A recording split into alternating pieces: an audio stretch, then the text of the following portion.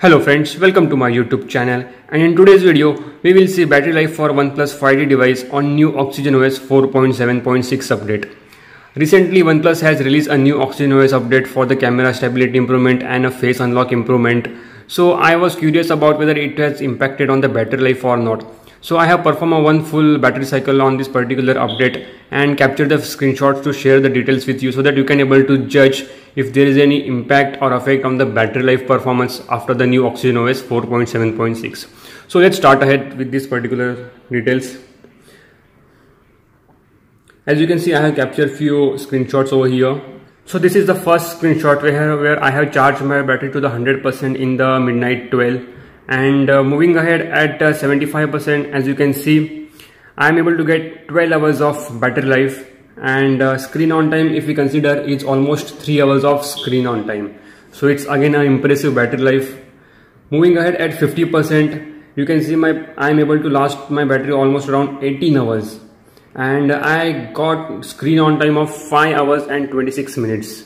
So I consider this screen on time is very good screen on time.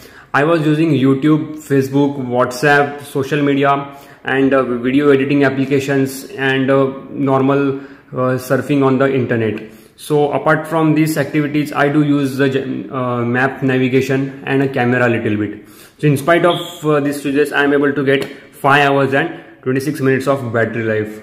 Now moving ahead at 25%, as you can see all my activities listed over here.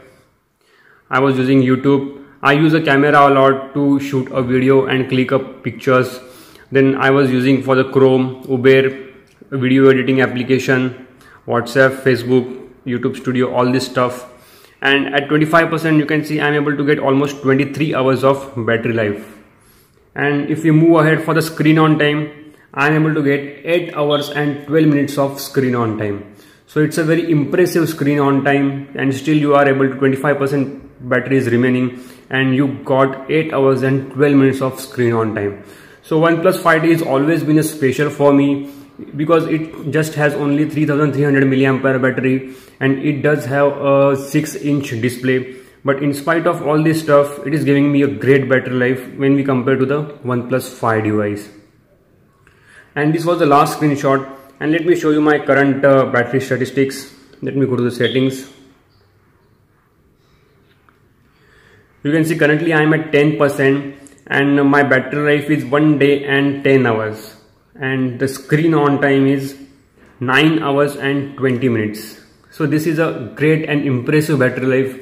This was my first uh, battery cycle right after my upgrade. I do wipe cache partition from the storage as well as from the recovery section so that there won't be any impact on the battery life. And I believe that this battery life is very impressive battery life if we consider the past uh, Oxygen OS updates.